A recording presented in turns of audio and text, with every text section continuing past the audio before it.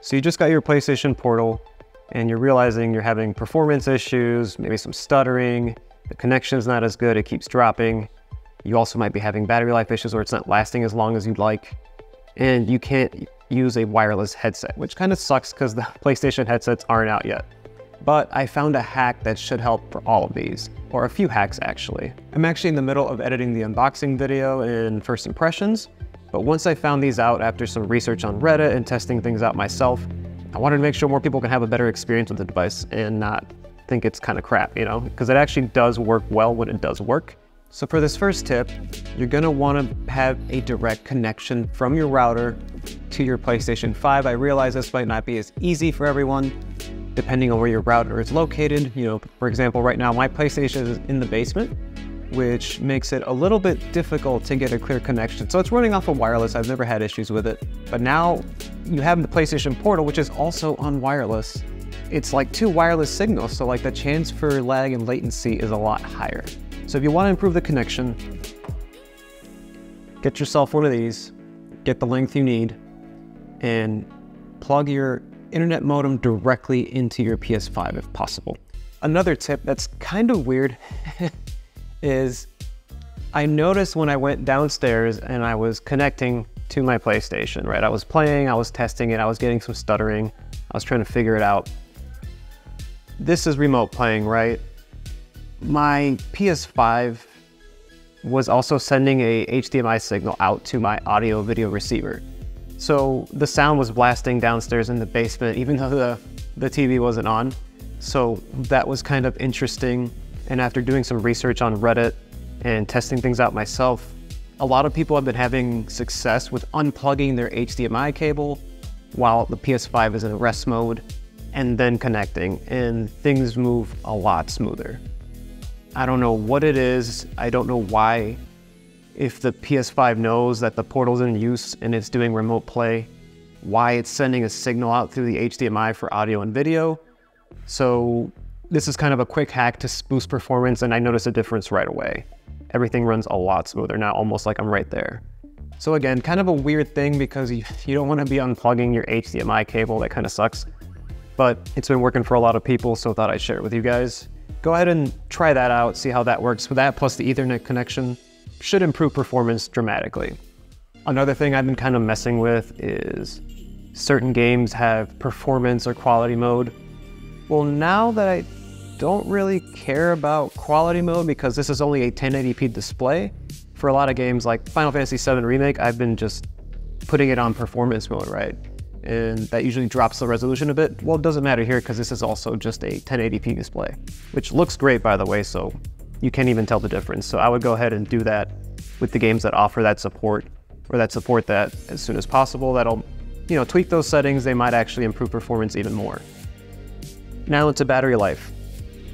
Uh, most people have been getting about three to five hours, right? Maybe more. There's a few settings that are important to know about that will make battery life a lot easier. So if you get your PlayStation Portal, right, you swipe from the top right over, you're gonna get these different settings.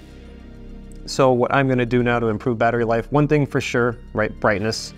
If you lower the brightness, your battery life will be better. I personally don't have a lot of time to game nowadays, so I am playing at full brightness because I usually don't play for four hours straight, especially not on this.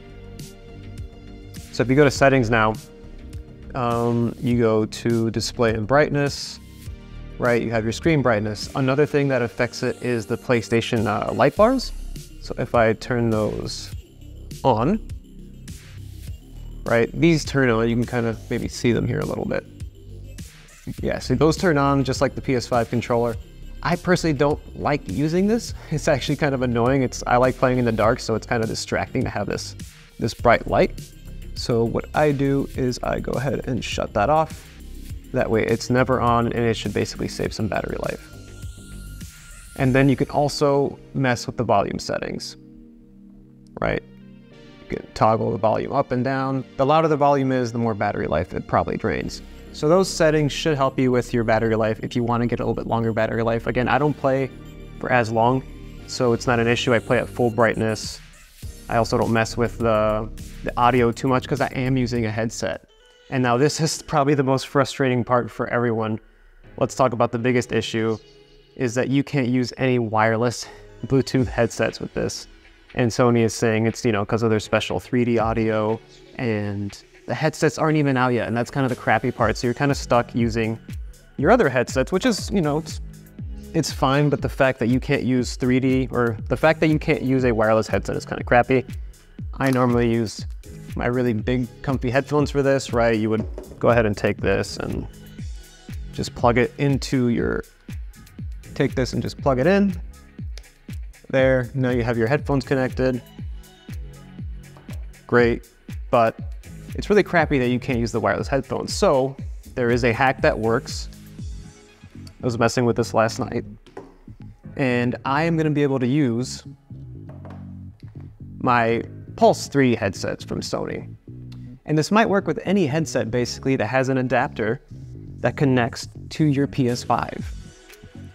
So when you want to use these wirelessly, right, this is Sony's own brand, but again, most wireless headphones that come with a little dongle. So this little dongle you plug into your PS5 and this is what transmits the, the wireless signal to your headphones. This is already plugged into my PS5, right? So once this is on and you turn on your headset, right? Since this is being remote played from your PS5, if it's already plugged in, just use your headset and it works even better because it's going, it's coming, the signal is coming directly from the PS5, which is the first uh, source, and it works great. This is my way of using a wireless headset on the PlayStation Portal right now, and it works flawlessly. I've tried the other methods. I know you can get like a Bluetooth adapter to plug in your AirPods and all these other things, but the signal is crap and it kind of tends to drop. I don't know what causes it, but Basically, if you want to get around that and you want to use wireless headsets right now, which is what most people do, just go ahead and use whatever is connected to your PS5. In this case, the Pulse headset. Anything with a dongle should work, and I've had no issues. So I hope these hacks and tips help you guys out with your PlayStation Portal and solve some issues you might be having at launch. Hopefully Sony will be updating a lot of this stuff through some firmware updates or whatnot. If you like these kinds of videos, please give it a thumbs up like and subscribe. I'm gonna be putting out more content. Stay tuned for the unboxing and first impressions and gameplay video coming out. And if you're interested in something else, check out this video right here.